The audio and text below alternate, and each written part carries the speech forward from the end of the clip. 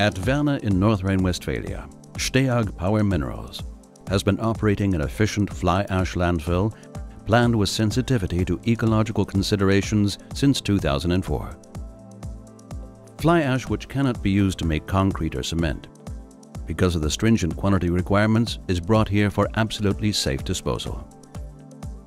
Currently, the surface is being sealed on two large sections prior to recultivation under the supervision of company personnel. Andreas Sümmer is the head of plant operations at Steag Power Minerals. He coordinated the complex planning procedure for the recultivation with an experienced team of external designers and inspectors. Wir befinden uns heute hier am We're here today at the Werne landfill on the site of the Gersteinwerk power plant. The landfill was established in 1984 and has been operated by Steag Power Minerals since 2004. Each year, between 90,000 and 120,000 metric tons of conditioned fly ash are deposited here.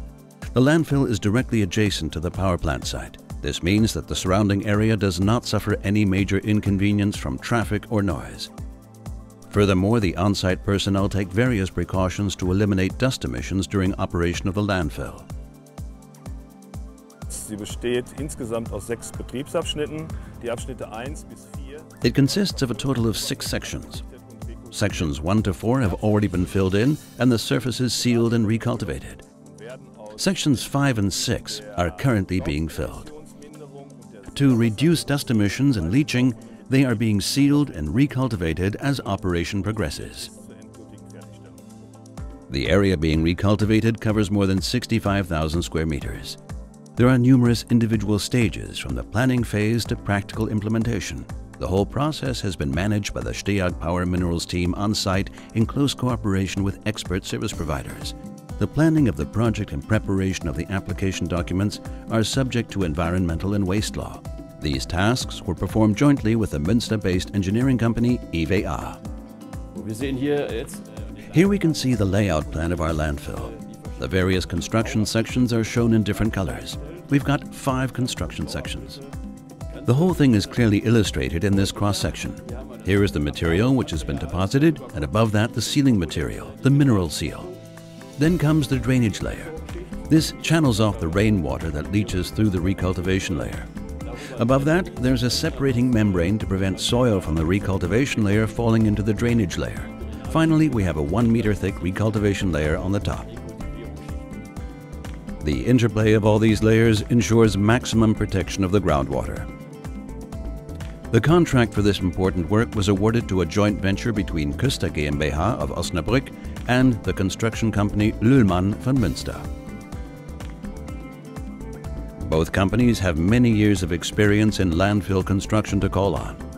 Marco Mescher from Küster GmbH explains how the design has been put into practice.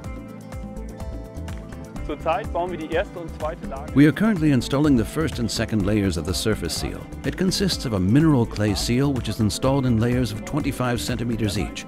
This is to ensure that surface water can't penetrate the body of the landfill. The layer structure is important and must be adhered to strictly, down to the last centimeter.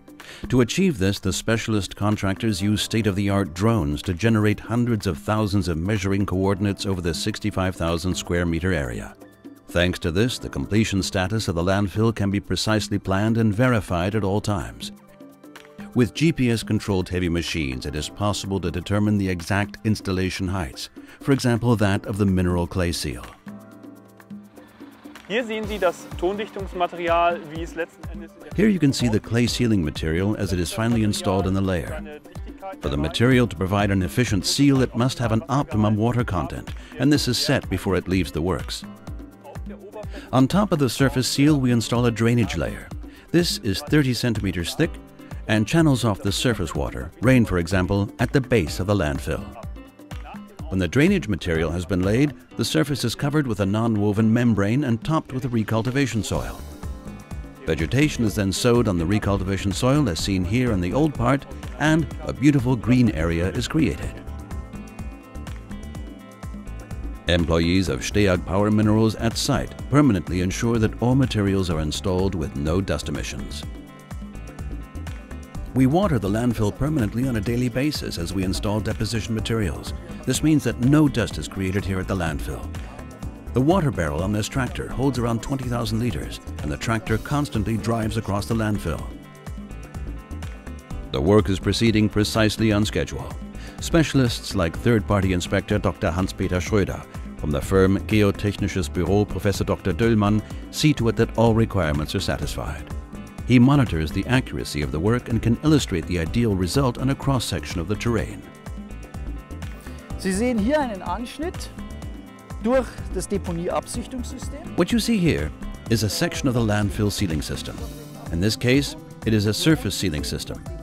Here at the bottom, you can see the deposited material, the fly ash, which is to be sealed over. The fly ash has a high load-bearing capacity. The mineral seal is built up above the fly ash here. This mineral seal consists of clay. Clay is impermeable to water. It is constructed in two layers. The drainage layer is applied on top of the clay. The purpose of the drainage layer is to channel off the surface water which seeps through here subsequently. It consists of gravel, and here on the gravel there is a separating membrane. This divides the recultivation soil above from the gravel to prevent soil particles getting flushed in. And then on the separating membrane, there is a one meter thick recultivation soil. This will ensure that the landfill is covered by greenery again. With their considerable experience, the team has mastered this sensitive project from the planning procedure to section by section recultivation. Recultivation is one of the many services provided by Steag Power Minerals. They range from the reliable supply of high-quality construction materials to cost-effective, efficient, and safe disposal. Steag Power Minerals